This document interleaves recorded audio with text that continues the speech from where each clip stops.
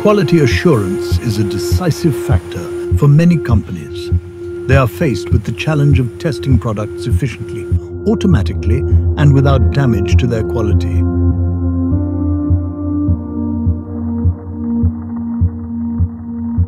Manufacturing companies need to ensure product quality to achieve maximum output. This is precisely where Balluff's all-new radar imager comes in.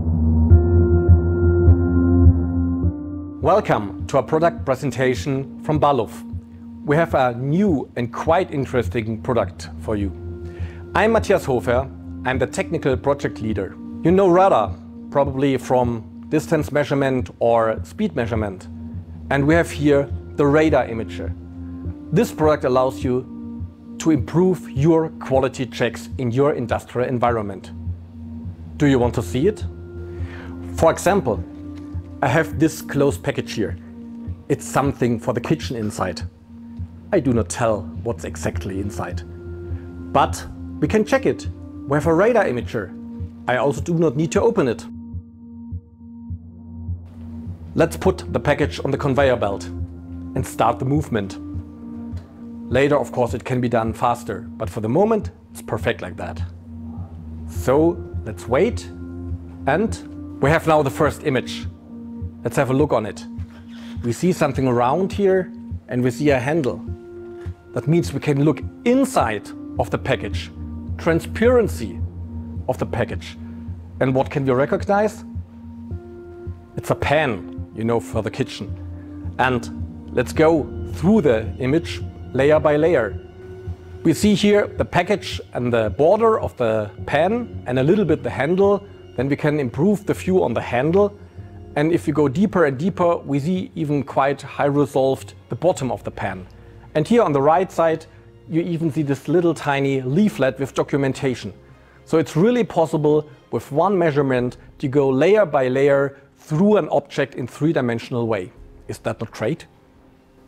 We have seen we can look through cartonnage or paper in this case. Also thin foils, no problem.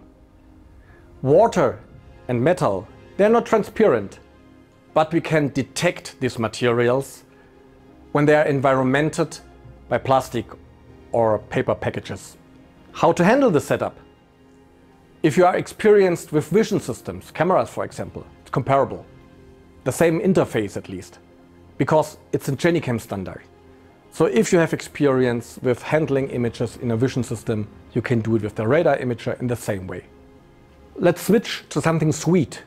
Chocolate. We all love it. Let's do the same measurement procedure.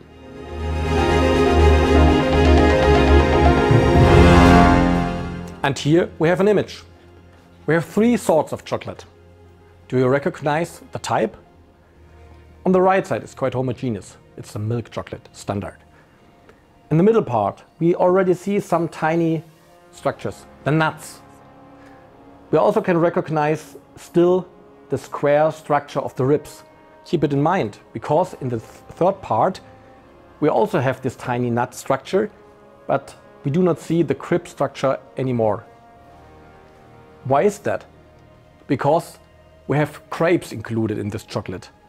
It's a nut crepe chocolate and the crepes have water containing and this is leading to a less strong transparency of the chocolate.